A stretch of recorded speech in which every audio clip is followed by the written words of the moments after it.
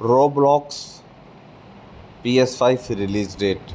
Yes, the game is finally heading to both PS5 and PS4 and it's on the way very soon. It arrived next month, sometime in October 2023.